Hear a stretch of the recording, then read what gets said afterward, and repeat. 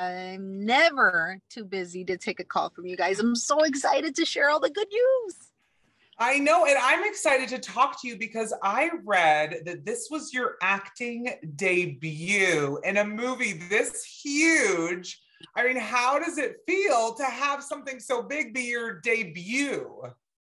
It's surreal, honestly. I've always had such a lovely deep rooted respect for Disney. And the film that did it for me was The Little Mermaid. I wanted to be part of that world and to be a part of it is a dream come true. I really feel like Jamie Sparer Roberts was like my fairy godmother, you know, to have found me through my YouTube site and to give me the opportunity to voice a character that so many around the world have gravitated towards and be part of history, Disney history, be part of the legacy that Disney has had for so mm-hmm. many years. It's surreal. Yes. I like the part of her world pun that you used there, the Little Mermaid reference. Yes. Good. That good. So was that the that was the one movie that you gravitated towards? As I mean, everybody has like their favorite oh, Disney movie. Little Mermaid was always your go-to. Jodi Benson. I would I would just nitpick everything she would do. And I love watching the behind the scenes because there is footage on YouTube where they were coaching her through how they wanted her to interpret the character and seeing her. And I was just like, oh, that's amazing, you know? And when I was growing up, you didn't have YouTube, obviously. This is something new. But growing up, I would listen to the soundtrack, listen to when, you know, Sebastian was singing, you know, under the sea, under the sea, you know, and hearing all those vocals and just thinking, that's the magical place I want to be going to. And my parents would make the sacrifice to take us to Disney every year. And I would be there. And and just for a princess to wave at you was like, oh my gosh, did you see? It was Cinderella. And to be on this side of it and give that joy to kids and to see it in their eyes that wow, I'm I'm standing with a Disney character or she was in that thing and sing the song. I will never get sick of singing the song. I'm so happy when they ask me to do it. I'm like, yes. I was gonna say, I'm sure you've been asked that already, but are you oh, sick of the song yet?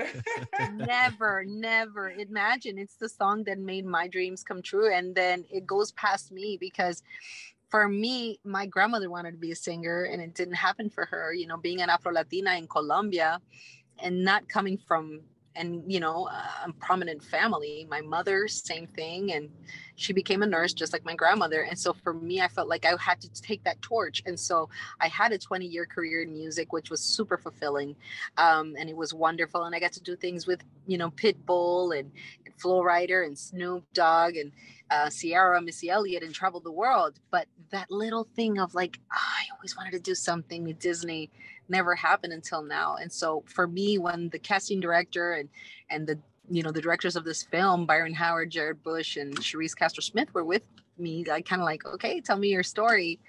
I told them the story of my parents because to me, that's the story that I needed people to hear. Their sacrifice. I'm a I'm a first generation here, you know, but my parents moved here just like the Madrigales to this magical place that they knew no one and, and had nothing but had to start from scratch. And it was so important for me to tell them their names and so they could understand their sacrifice. And it's because of them that I get these opportunities. And it's because my mother and my father dared to go to an unknown land and start a new life that I get to be in part of this world, you know. Yeah. So cool. And I read all the people you worked with in the music industry because you know we were very curious.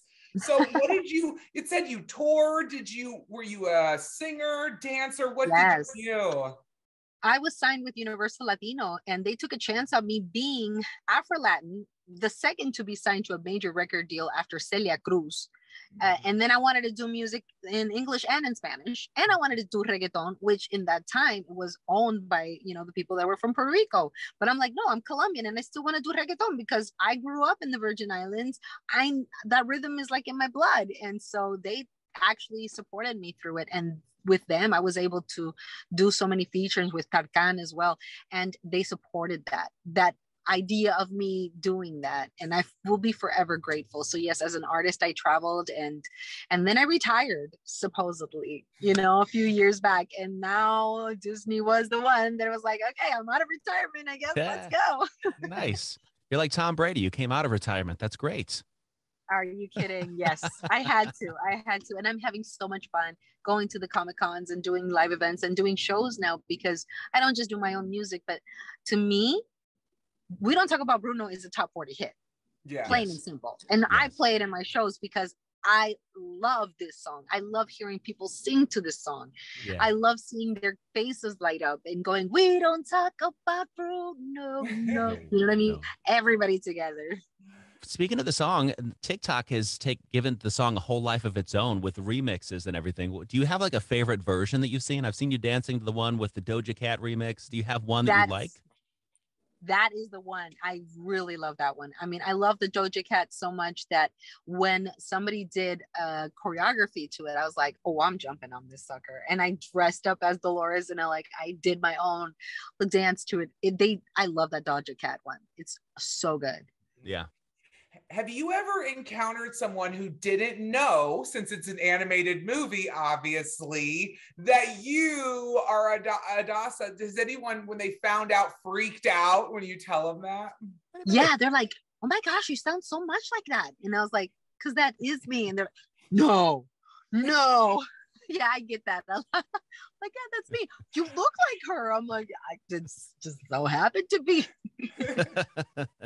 Adassa, thank you so much for taking the time with us today. We really appreciate it. Everybody loves We Don't Talk About Bruno. You're right.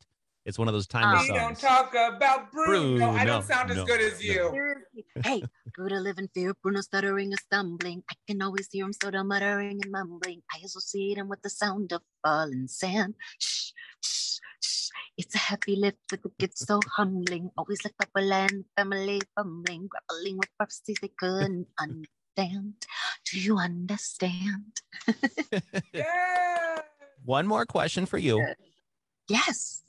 You you have the super hearing in the movie. Would I that do. be one thing that you would want? Super hearing in real life? Absolutely. I would okay. want to know what everybody is doing. Now, I wouldn't necessarily tell, but I'll be like, mm, I know you're lying because I heard it all. I love it. Thank you so much. Thank, Thank you. you.